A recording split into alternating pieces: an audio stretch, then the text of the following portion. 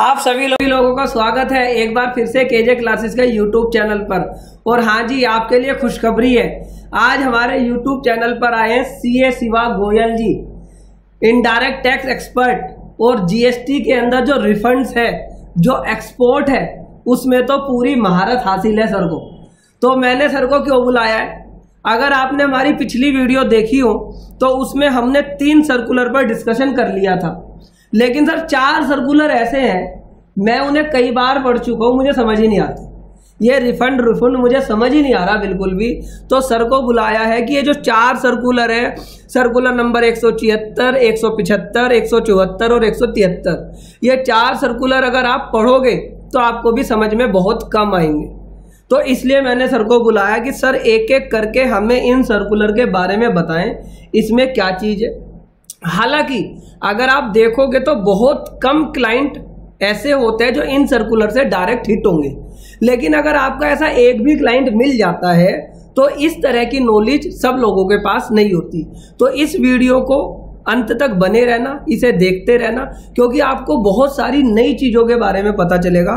तो सर आपका वेलकम है हमारे यूट्यूब. चैनल Thank पे। you so much. Thank you so much, everyone whosoever is viewing this video. To K J Classes for giving me this wonderful opportunity तो हाँ circulars आए हैं हमारे 170 से 176 तक। और कपिल सर, मैंने भी आपकी वीडियो देखी। आपने बहुत बखूबी तरीके से जो पहले तीन से चार सर्कुलर है, उनको एक्सप्लेन किया है। और बहुत अच्छे से मैंने भी उस सर्कुलर से सीखा है। और आपने बहुत अच्छे से सारे सर्कुलर्स को एक्सप्लेन किया है। जो रिमेनिंग सर्कुलर रह गए हैं आज हम उनको वन बाय वन डिस्कस करेंगे। तो सर हम पहले स्टार्ट करेंगे सर्कुलर नंबर 174 से। ओके सर जी जी। तो एक बार 174 सर ओपन कर लेते हैं ताकि व्यूअर साथ के साथ 174 को देख भी पाएँ। जी जी। तो सर्कुलर 174 जो इशू हुआ है सीबीआईसी ने इशू किया है 6 जुलाई को।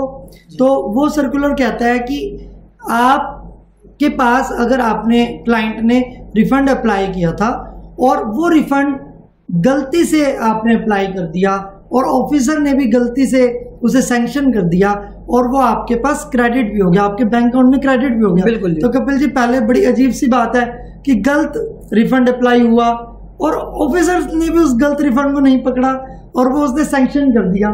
और डिसबर्स भी हो गया। और बाद में पता लगा चाहे डिपार्टमेंट से पता लगा ऑडिट के दौरान चाहे क्लाइंट को खुद रियलाइजेशन हुआ कि ये तो मैंने एरेनियस रिफंड ले लिया अंडर सेक्शन 54 तो क्या किया जाए? तो जी डिपार्टमेंट शोकोस नोटिस देगा ऑफिसर शोकोस नोटिस देगा कि ये पैसा आप हमें वापस करो डीआरसी ज़ीरो थ्री में वापस करो। और बाय कैश करो क्यों पैसा कैश में आया है। तो कैश में मांगेगा। तो जब वो पैसा कैश में वापस मांग रहा है डीआरसी ज़ीरो थ्री से वो डिपार्टमेंट को पैसा वापस कर रहा है तो उसको वो क्रेडिट वापस चाहिए जो उसका इनपुट टैक्स क्रेडिट उस टाइम पर रिवर्स हो गया था जब उसको रिफंड मिला था तो अब जब उसका रिफंड उसने वापस दे दिया तो क्रेडिट तो मिलना चाहिए कि नहीं मिलना चाहिए? अब पहले क्या होता था जब वो क्रेडिट अवेल करता था वो क्रेडिट थ्री बी में अवेल करता था उसके पास कोई फॉर्म ही नहीं था। ना डिपार्टमेंट उसको क्रेडिट वापस करने का डिपार्टमेंट के पास कोई फंक्शनैलिटी नहीं थी, जिसके थ्रू डिपार्टमेंट क्लाइंट को वो क्रेडिट वापस कर सके। तो क्लाइंट क्या करता था? वो थ्री बी में उस क्रेडिट को क्लेम कर लेता था। और आपको पता है, जब से टू बी एक्टिव हुआ है तो डिपार्टमेंट टू बी को मैच करता है, जो थ्री बी में उन्होंने क्रेडिट अवेल किया है। तो वो क्रेडिट ज़्यादा आता था डिपार्टमेंट नोटिस इशू करता था। वो बताता था जी मैंने ये रिफंड ले लिया था मैंने उसका क्रेडिट लिया है ऑफिसर कन्विंस नहीं होता था। तो बहुत दिक्कतें आ रही थी। अगर शिवा गोयल जी मैं इसे एनालाइज करूँ तो इसे इस तरीके से समझिए कि लेट सपोज़ मैंने यहाँ पर इनपुट गुड्स और इनपुट सर्विस ले रखी है और मेरे पास 10 करोड़ का आईटीसी है। बिल्कुल। ठीक है ना? 10 करोड़ का आईटीसी है।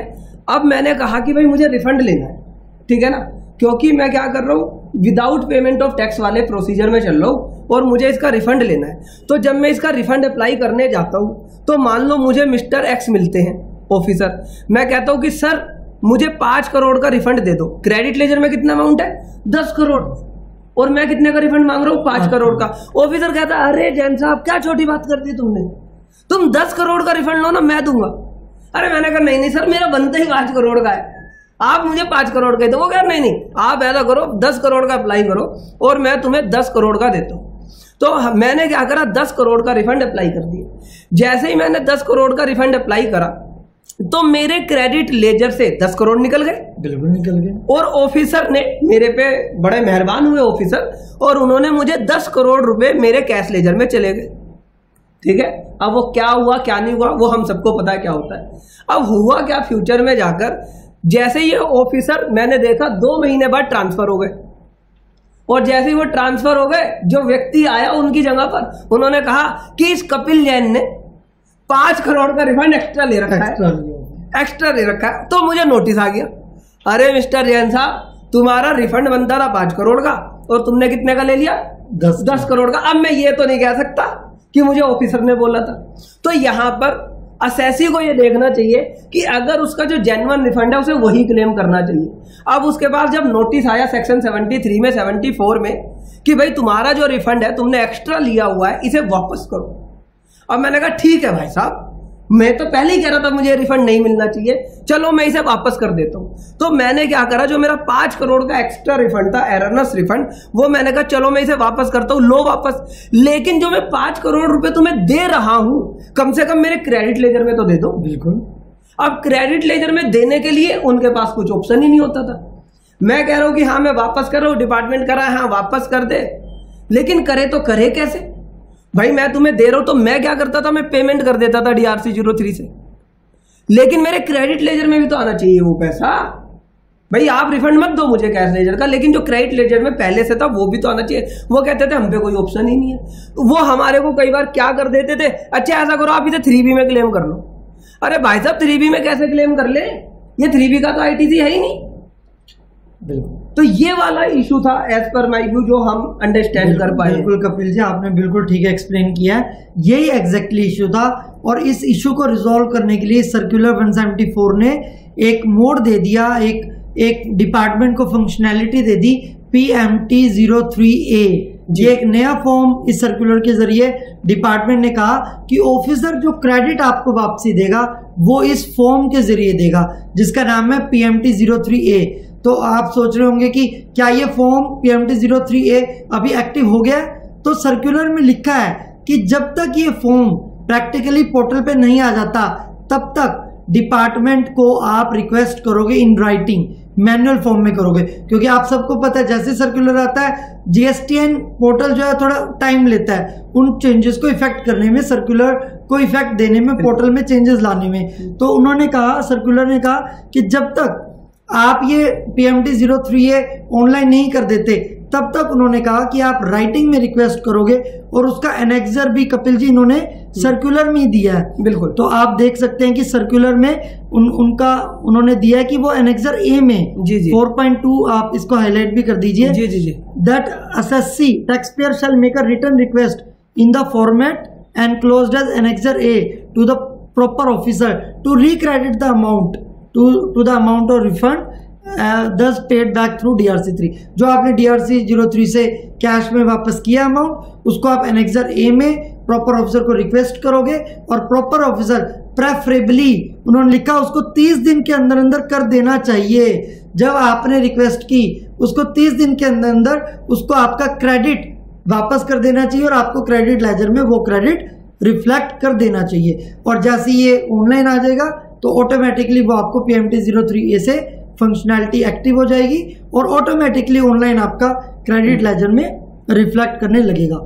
और तो सर मैं यहाँ पर ये कहना चाहता हूँ अपने यूज़र्स को जो हमारी इस वीडियो को देख रहे हैं अगर किसी ने कुछ भी तरीके से एक्स्ट्रा रिफंड ले लिया है वो अभी वापस कर दो। क्योंकि अगर आप डिपार्टमेंट चिट्ठी भेजेगा तो हो सकता है वो सेक्शन 74 में भेज दे। और अगर तुम्हें वापस करना है तो अभी उसे तुरंत डीआरसी ज़ीरो थ्री से वापस कर दो और अपने क्रेडिट लेजर में उसे ले लो। ले क्योंकि हो सकता है वो क्रेडिट लेजर में अगर आपके आ जाए तो उसे फ्यूचर में आप कहीं पर यूज़ कर पाओ। कर ये चीज़ें तो सर ये इसका फॉर्मेट है मैं आपको दिखा दूँ एनेक्सर जी। का। तो ये फॉर्मेट है एनेक्सर का।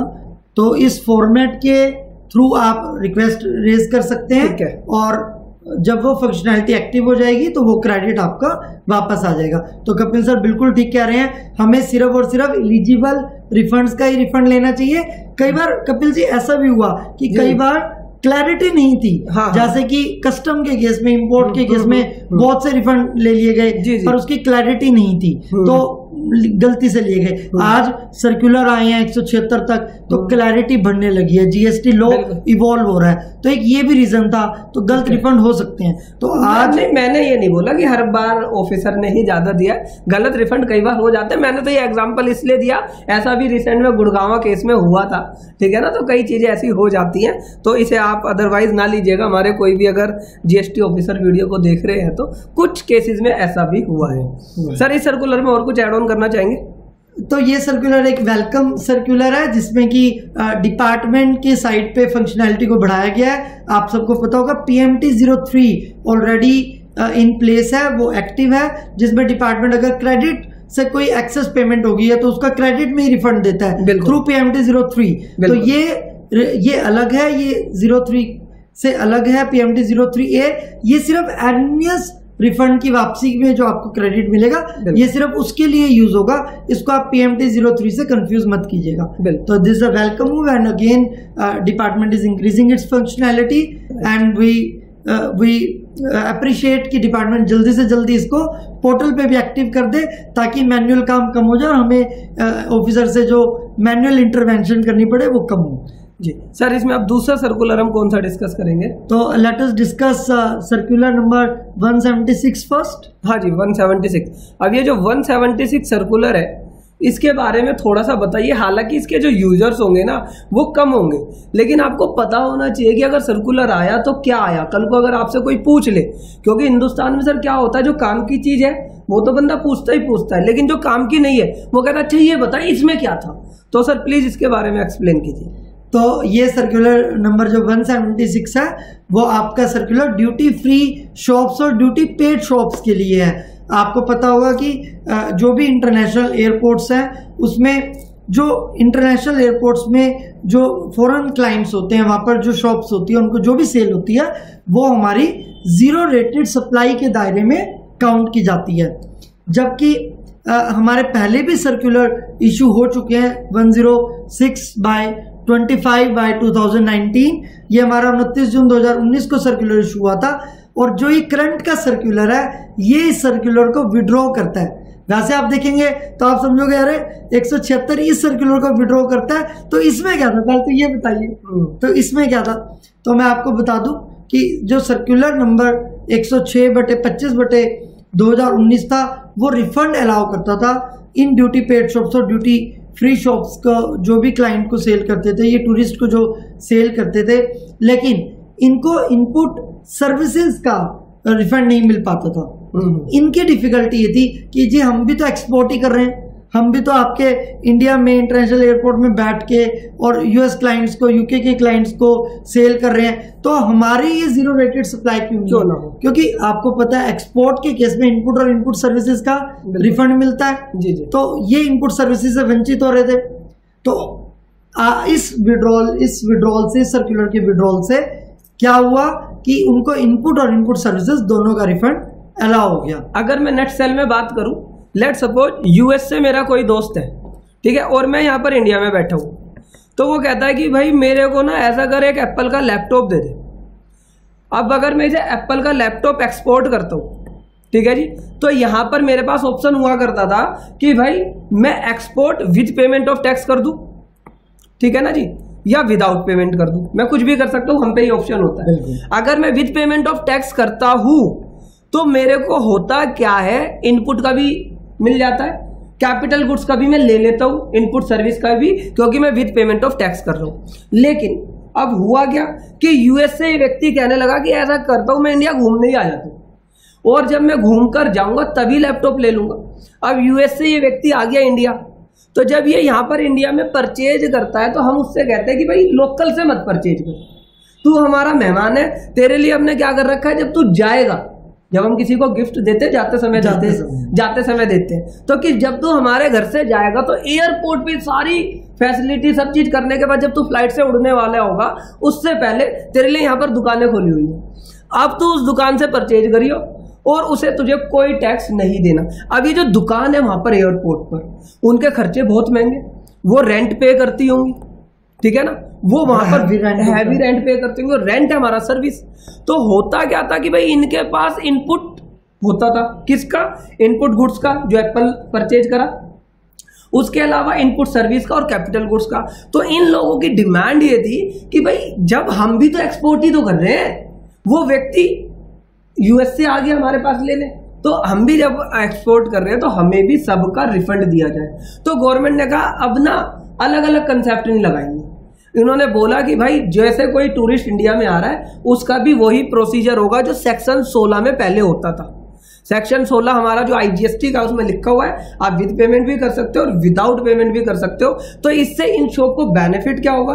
कि इन्हें इनपुट सर्विस का भी रिफंड मिल जाएगा और अगर ये विद पेमेंट में चले जाते हैं तो इन्हें कैपिटल गुड्स का भी मिल जाएगा। इसलिए ये शायद ये सर्कुलर लाए सर इसमें यही कहना चाह रहा है ये सर्कुलर इस सर्कुलर के साथ साथ जो अभी फोर्टी काउंसिल मीटिंग की नोटिफिकेशन भी आई है तो उसमें एक नोटिफिकेशन इसके साथ मैं लिंक कर देता हूँ जो इससे रेलिवेंट है. That is notification 14 by 2022 para 9 अगर आप देखेंगे जी, जी। तो वो ओमिट करती है रूल 95 ए को Right. अब रूल 95 ए को रेट्रोस्पेक्टिवली ओमिट कर दिया गया तो जो रूल 95 ओमिट हुआ है वो इसी वजह से हुआ है कि वो इनपुट सर्विसेज़ का भी उनको रिफंड अलाउ कर दिया जाए और बड़ी हाई कोर्ट के डिसीजंस भी आए और मैं एक केस भी बताना चाहूँगा Flamingo travel retail limited versus union of India 2019 का केस है फिर संदीप पटेल वर्सेस यूआई ये एक केस है फिर C I A L duty free and retail services limited ये एक केस है और अतीन कृष्ण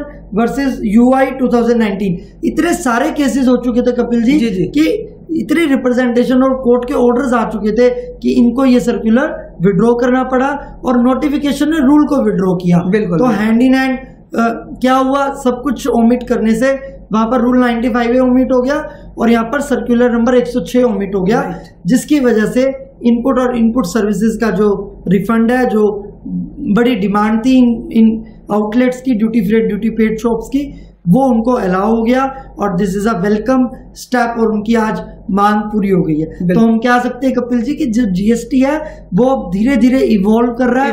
और मेच्योर एक बच्चा हो रहा है। पहले बड़ा शरारती बच्चा है क्लैरिटी नहीं है। अब धीरे धीरे वो मेच्योरिटी की तरफ़ जा रहा है और एसएससी की जो कंप्लेन्स हैं अ, क्योंकि एसएससी कंप्लेन करता है तो वो कोर्ट में जाता है। फिर कोर्ट की तरफ़ से सीबीआईसी को जो है कोर्ट का ऑर्डर आता है। फिर वो देखते हैं कि क्या मैटर था तो वो कहते हैं कि हम सर्कुलर से ही लिटिगेशंस को कम कर देते हैं। Right. तो these circulars are in the are for the benefits of the SSC Benefit of the yes अब सर मेरे को तो ना जीएसटी आने के बाद ना बहुत सारी चीज़ें नई सीखने को मिली। जैसे कि अभी एक सर्कुलर आया। अब सर्कुलर में लिखा हुआ है कि एक्सपोर्ट ऑफ़ इलेक्ट्रिसिटी ठीक है ना जी? के लिए हमने कुछ रिलैक्सेशन कराया। इससे पहले मुझे लगता था कि हमारा देश भी इलेक्ट्रिसिटी एक्सपोर्ट करेगा। क्योंकि मैं अगर यूपी में हूँ तो वहाँ पर तो इलेक्ट्रिसिटी बहुत कम है। तो जब हमारे देश के लिए ही नहीं है तो एक्सपोर्ट क्यों करेगा? जब हमने इसे गूगल पर सर्च करा तो पता लगा कि हिंदुस्तान भी इलेक्ट्रिसिटी एक्सपोर्ट करता है। किसे करता है? पाकिस्तान को, बांग्लादेश को, नेपाल को, भूटान को। अब जब ये इलेक्ट्रिसिटी एक्सपोर्ट होती है तो सर, हर व्यक्ति तो इलेक्ट्रिसिटी एक्सपोर्ट नहीं कर सकता। अब पता भी नहीं है कि एक्सपोर्ट होगा कैसे। अब ऐसा थोड़ी होगा कि इलेक्ट्रिसिटी के तार जा रहे हैं, ठीक है ना? तो ऑफिसर चेक करेगा कि भाई कितनी एक्सपोर्ट हुई, क्या हुआ? तो इसके बारे में कुछ रिलैक्सेशन आई। तो आप जरा हमें इसमें बताइए कि इसमें क्या रिलैक्सेशन है। तो अगर आपका कोई क्लाइंट ऐसा है कि जो इलेक्ट्रिसिटी को एक्सपोर्ट करता है तो आपके लिए रेलिवेंट है। नहीं तो तब तक आप एक झपकी ले सकते हो नींद की। हम दो मिनट में डिस्कस करते हैं सर पर सर ये पॉइंट बड़ा रेलिवेंट है। अ, मैं सोचता हूँ कि सबको ये इलेक्ट्रिसिटी का देखना चाहिए क्योंकि क्लाइंट्स को क्या कंफ्यूजन होती थी प्रोफेशनल्स को क्या कंफ्यूजन होती थी? सर ये एनी अदर कैटेगरी बताइए कौन सी है।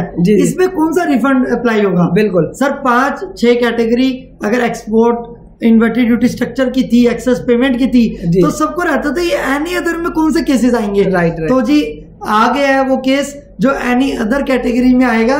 तो हाँ मैं बात कर रहा हूँ एक्सपोर्ट की पावर जनरेटिंग यूनिट्स की, जो एक्सपोर्ट करती है इलेक्ट्रिसिटी कपिल जी ने बिल्कुल ठीक कहा इलेक्ट्रिसिटी की इतनी शॉर्टेज है और हम देख रहे हैं कि क्या इलेक्ट्रिसिटी भी एक्सपोर्ट होती है इंडिया से बाहर। तो देखिए, सब कुछ एक्सपोर्ट होता है। जो भी इंडिया में मैन्युफैक्चर होता है everything can be exported even the electricity so power generating units for facing lot of problem regarding refund on the electricity exported by them to the foreign foreign nations? जी जी। तो उनके लिए कोई mechanism नहीं था कोई क्लैरिटी नहीं थी कि जी हम रिफंड कहाँ अप्लाई करें। हम्म, अब कपिल सर आप कहोगे जी एक्सपोर्ट करें तो एक्सपोर्ट के है ना कॉलम उसमें क्यों नहीं करते? हम्म। कपिल जी बताइए एक्सपोर्ट किया with payment of duty shipping bill number कहाँ से लाएँ? हम्म, शिपिंग बिल नंबर नहीं है ऑटोमेटिक आता नहीं। हाँ और विदाउट पेमेंट भी करते हैं तो उसमें भी जीएसटी में शिपिंग बिल की डिटेल माँगता है बिल्कुल माँगता और उनके पास कोई शिपिंग बिल नहीं था। हाँ, क्योंकि शिप में जाते तो बैठ कर जाती नहीं लगती। जाती नहीं। वो ट्रांसमिट होती है हाँ। थ्रू वायर्स हाँ, तो इसके लिए आउट राइटली एक न्यू रूल्स की ज़रूरत थी एक न्यू मैकेनिज्म की ज़रूरत थी जो आज हमारे यहाँ पर सर्कुलर नंबर 175 जो इशू हुआ उसने डिटेल की। तो आप देखिए पाँच साल हो गए जीएसटी को और आज हमें पता लग रहा है कि इलेक्ट्रिसिटी जो पावर जनरेटिंग यूनिट्स है वो कैसे रिफंड को अप्लाई करेंगे? मेरे को तो चौतीस साल हो गए मुझे आज पता लग रहा है कि हमारा हिंदुस्तान इलेक्ट्रिसिटी एक्सपोर्ट भी करता है। तो पाँच साल बाद तो बड़ा जायज़ है रिफंड का हाँ, पता लगना। हाँ। तो आइए हम सर्कुलर नंबर एक सौ जो मैं आपको बड़ी जल्दी से ब्रीफ कर देता हूँ कि एक सौ क्या कहता है। तो देखिए सर्कुलर नंबर एक सौ कहता है कि आप एक्सपोर्ट अगर कर रहे हैं पावर जनरेटिंग यूनिट है आप और अगर आप इलेक्ट्रिसिटी एक्सपोर्ट कर रहे हैं तो आप रिफंड कहाँ अप्लाई करेंगे? तो आंसर इज़ आप एनी अदर की कैटेगरी में इसको डिफाइन करेंगे अप्लाई करेंगे एप्लीकेशन को लगाएँगे R F D zero one के थ्रू और रिमार्क्स में आप क्या लिखेंगे? आप हाईलाइट कीजिए यहाँ पर। रिमार्क्स में आप लिखेंगे, जी जी। In in remarks column, this would be said export of electricity without payment of tax आपको ये देना है एनी अदर कैटेगरी में कि आप एक्सपोर्ट कर रहे हैं इलेक्ट्रिसिटी की without payment of tax right तो यहाँ पर रिमार्क्स मेंशन करेंगे। और हाँ इन्होंने कहा है कि जब आप R F D zero one में एप्लीकेशन डाल रहे हैं तब आप कृपया करके क्रेडिट लाइजर को रिवर्स ना करें। डीआरसी ज़ीरो थ्री अभी एप्लीकेशन के टाइम पर इसको रिवर्स ना करें। तो सर कब करें? अभी आते हैं कि कब करना है आपको क्रेडिट लाइजर को रिवर्स जी जी। तो इन्होंने बताया कि आपको क्या क्या चीज़ें अपलोड करनी है और आपको डिटेल कैसे कैसे देनी है। हम्म। इसके लिए इन्होंने दो स्टेटमेंट्स इशू की स्टेटमेंट थ्री ए और थ्री बी हम्म, हम्म, जी। और साथ में इन्होंने कहा कि जो भी पावर जनरेटिंग यूनिट है वो अपलोड करेंगी copy of statement of scheduled energy for electricity exported by the generation plants in the format as annexure one देखिए रीजनल जो भी पावर जनरेटिंग यूनिट्स होती हैं, उनका एक रीजनल एनर्जी अकाउंट मेंटेन करती है।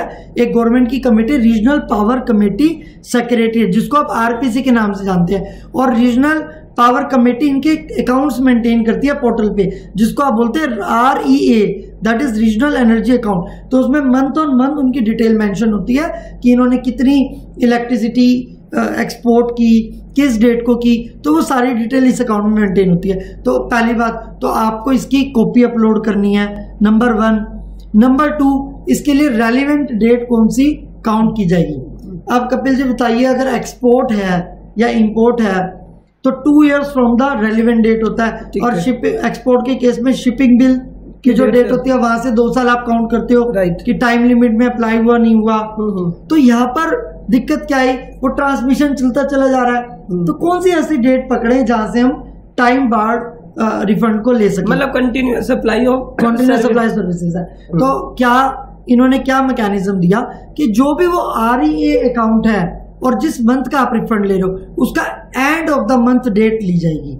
तो आप यहाँ पर अ, कर लीजिए। Accordingly it is hereby clarified that highlight कर दीजिए in case of export of electricity the relevant date भी shall be last date of the month in which electricity has been exported as per monthly REA account जो RPC के यहाँ पर आपके maintain हो रहे हैं। Right. और जो फॉर्मूला है वो मोरलेस वही है। ठीक है। Turnover of zero rated supply है। गुड्स और services into net ITC divide by adjusted total turnover अब वो बोले कि जो रेट है वो क्या लिया जाएगा? टर्नओवर जो एक्सपोर्ट की टर्नओवर है वो क्या ली जाएगी?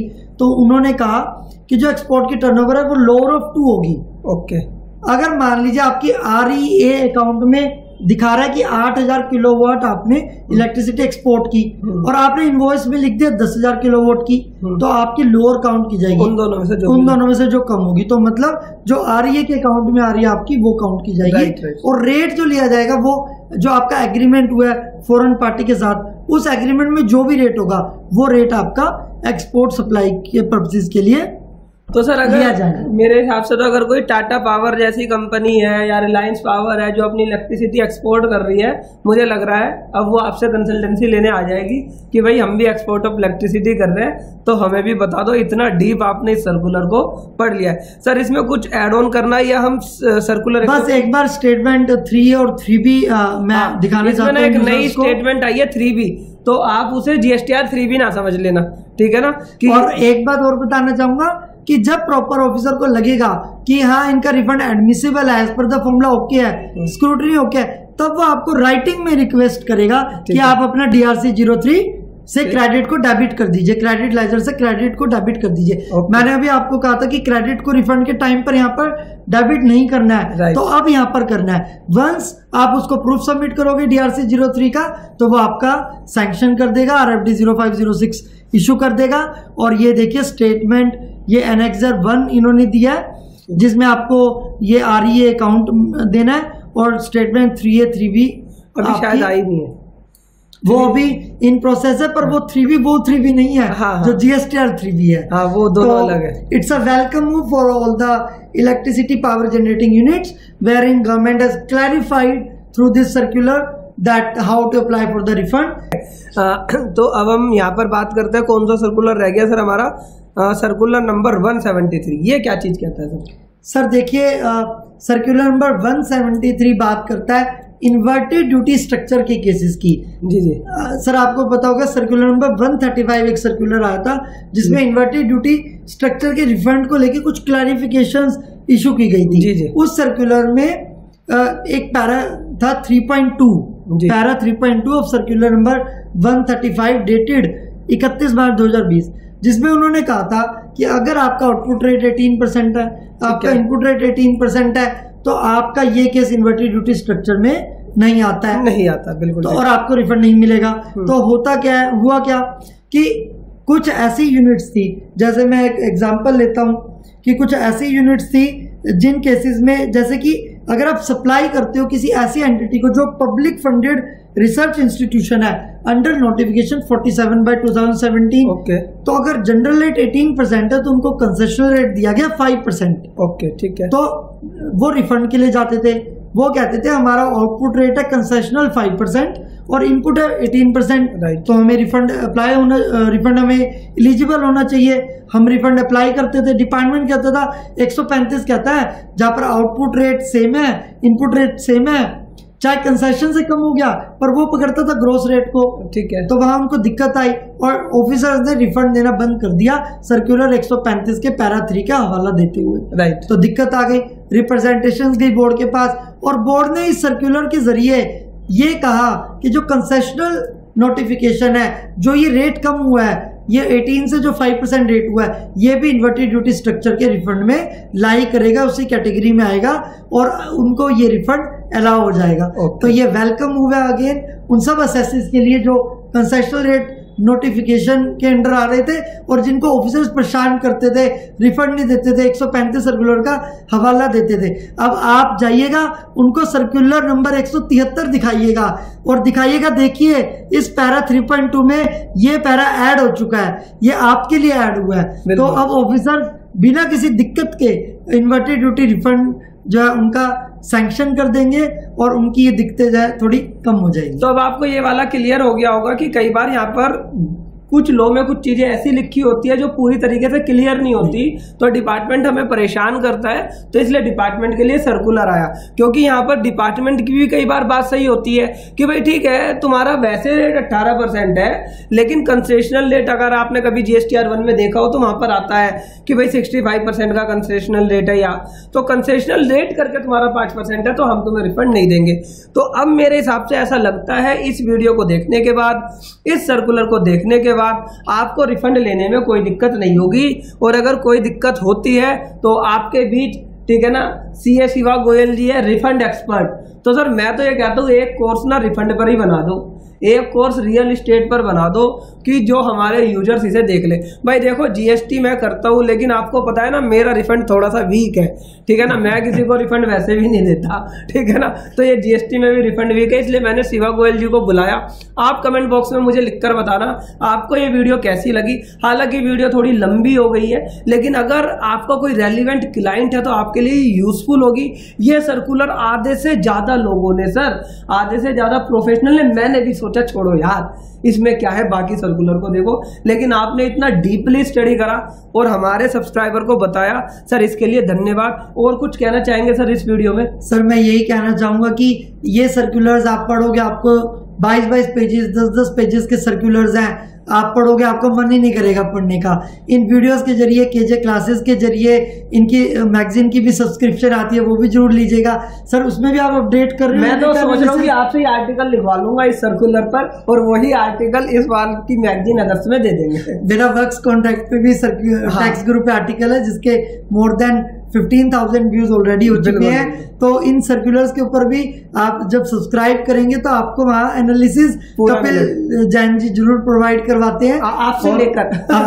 तो वो एक्सपर्ट्स को बुलाते हैं। It's such a great platform जो प्रोफेशनल्स को क्लाइंट्स को अकाउंटेंट्स को सबको मदद कर रहा है कि आपको आधे घंटे बीस मिनट के अंदर पूरा ज्ञान दे दिया जाए। चार्टर चार सर्कुलर आधे घंटे की वीडियो में मिल रहा है तो मैं चाहूँगा कि कपिल मैं मानूँगा कि कपिल जी ये एक बहुत बड़ी अचीवमेंट है जी, और आप प्रोफेशन के लिए बहुत ज़्यादा बहुत अच्छा काम कर रहे हैं एंड एंड दैट्स रियली अगर आपको भी ये वीडियो अच्छी लगती है तो आप अपने मोबाइल में जितने भी मोबाइल नंबर है सबको इस वीडियो को भेज दीजिए। चैनल आपने सब्सक्राइब कर ही लिया है। अपने दोस्तों से सब्सक्राइब कराकर दो लाख का टारगेट है हमारा इस साल का।